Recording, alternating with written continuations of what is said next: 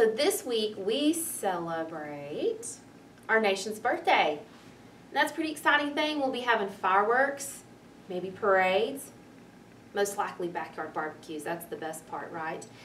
But you know, when I think of our flag and all these stars, of course, these stars represent the states. But you know what I think of? I think of the Bible story of Abraham and Sarah that's in Genesis and about how God used Abraham and Sarah to establish his holy nation. Let's read the story real quick.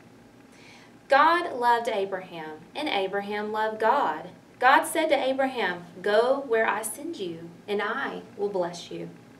Abraham did what God told him to do.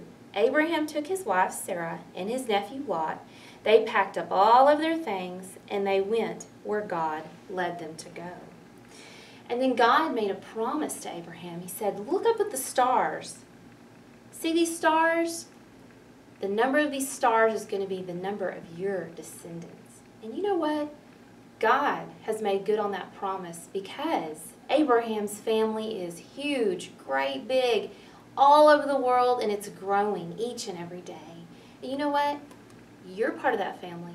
I'm part of that family. Your mom and dad are part of that family. We're all part of Abraham's family, which make up God's holy nation. Because God established his holy nation of people that put God first and love God first and love each other. And that's what it means to be a holy nation, to be part of God's nation, to love each other and to put God first, because that's his first commandment, to put him and only him first. So let's pray, and then Travis is going to sing a song for us.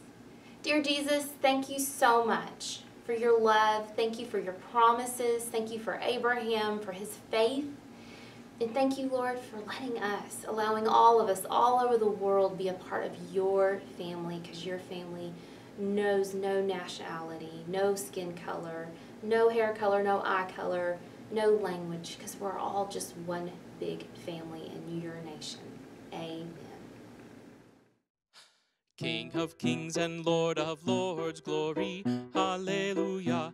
King of kings and Lord of lords, glory, hallelujah. Jesus, Prince of peace, glory, hallelujah. Jesus, Prince of peace, glory, hallelujah.